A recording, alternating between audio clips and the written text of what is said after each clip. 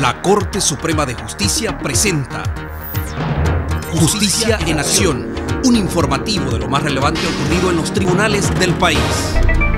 El acontecer judicial del martes 7 de mayo del 2019. Iniciamos. El juzgado cuarto de instrucción de San Salvador, a petición fiscal, giró oficio a la Embajada de los Estados Unidos para que informe sobre el estatus migratorio de Álvaro Sarabia, único acusado de la muerte de Monseñor Oscar Arnulfo Romero, ya que supuestamente estuvo en suelo estadounidense. También pidió que se entreviste en calidad de testigo a Almudena Bernabeu, abogada que representó a las víctimas del magnicidio ante la Corte Federal en California, Estados Unidos. El juzgado resolvió solicitar a la Universidad de Washington en Estados Unidos toda información desclasificada sobre el asesinato de Romero, entre estos telegramas y cartas de la Embajada de Estados Unidos en El Salvador sobre el asesinato.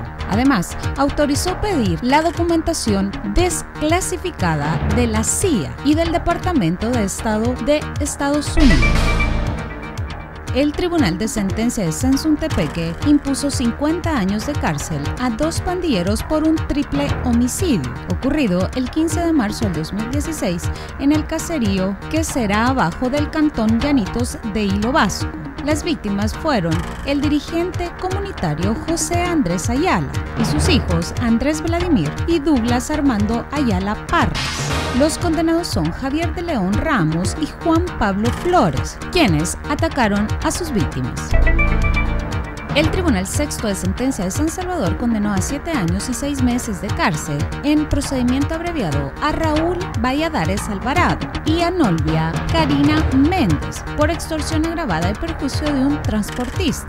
El procedimiento abreviado fue autorizado por la jueza, luego de ser solicitado por las partes, en la cual ambos imputados aceptaron y confesaron los hechos por los que fueron acusados. La víctima estaba siendo extorsionada por personas que se identificaban como miembros de pandillas y a quienes ya les había realizado entregas de dinero en dos ocasiones en octubre del 2017.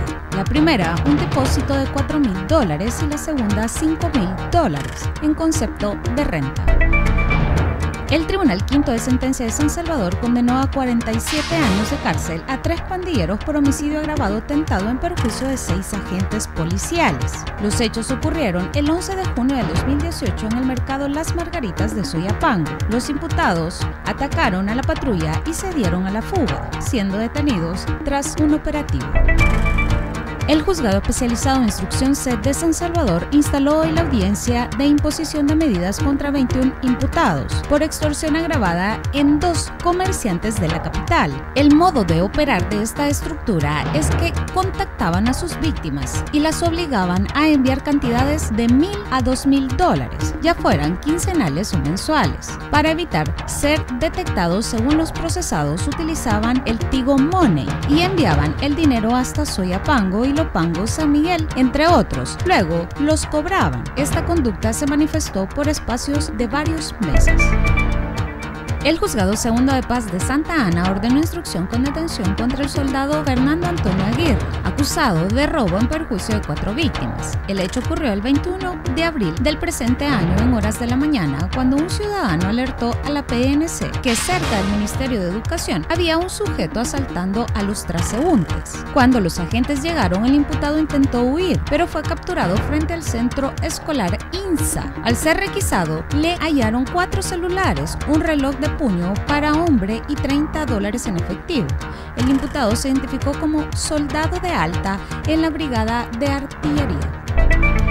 El juzgado especializado de sentencia de San Salvador impuso 20 años de prisión al pandillero Denis Iván Cruz por el delito de homicidio agravado. El móvil del crimen fue porque la víctima, miembro de la misma pandilla, se quedaba con dinero de las extorsiones. A la víctima la amarraron de pies y manos y tras asesinarlo lo envolvieron en sábanas y lo abandonaron en la colonia El Tránsito de Cuscatancingo. El juzgado octavo de paz de San Salvador decretó instrucción con detención contra Hugo Denis Quintanilla y Ana Guadalupe Morán, acusados de homicidio agravado tentado en perjuicio de una víctima. Según la denuncia fiscal, el 16 de marzo pasado la víctima fue con amigos a departir a un bar en la Cuarta Avenida Norte y Quinta Calle Oriente de esta capital. Al cerrar el establecimiento, este se quedó a dormir afuera. A las 2 de la madrugada del siguiente día, la víctima despertó a causa de los ataques de Ana y Denis, quienes lo apuñalaban en la espalda. La víctima logró escapar y pedir auxilio.